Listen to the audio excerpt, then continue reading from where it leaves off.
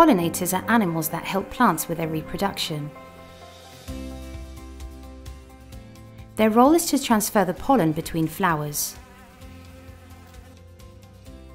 The pollen deposited by pollinators fecundates the ovules which will become the fruit that will perpetuate the cycle of life. Humans, like any other living being on the planet, depend on plants and their subproducts. Plants provide us with nourishment and materials like resin, wood, or rubber and fibres for our fabrics as well.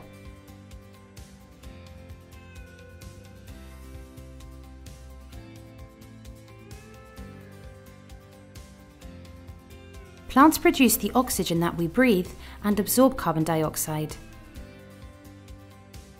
Retain the soil and moisture, help regulate temperatures,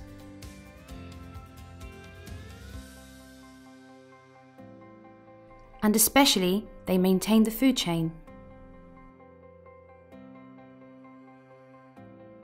It is clear that pollinators are essential to life on Earth. In fact, 80% of the flowering plants need pollinators to maintain their life cycle. Based solely on their importance in the food industry, 35% of the world's agricultural production depends on pollinators. Recently, the fraction of crops requiring biotic pollination has increased alarmingly.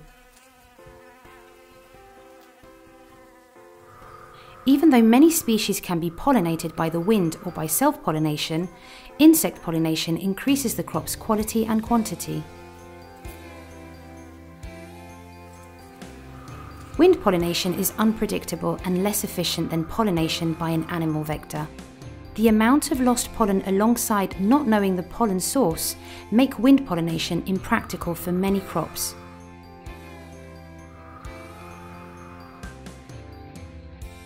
That's why in many cases a new pollinator species is introduced to enhance natural pollination. Traditionally, farmers have used social pollinator species that can be incorporated to crops easily and in great quantities. Honeybees, one of 20,000 bee species in the world, is the most used species due to their easy implementation. However, in the last few years, it has been demonstrated that honeybees are not always that efficient. The more diverse the community of pollinators is, the better the yields would be. For example, when strawberries are pollinated by a diverse group of pollinators, their quality, size, weight, and even its colour improves substantially compared to other strawberries pollinated only by honeybees. This happens because honeybees pollinate various flowers from the same plant, thus increasing the endogamy rates and the problems associated with it.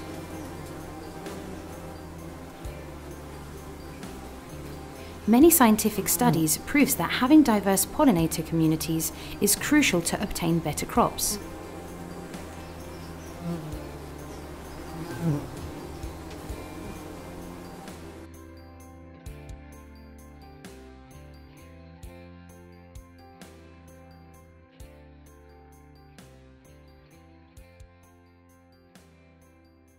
To ensure an efficient pollination, many farmers are starting to promote the creation or the preservation of pristine vegetation refuges to secure a greater variety of insects in the area.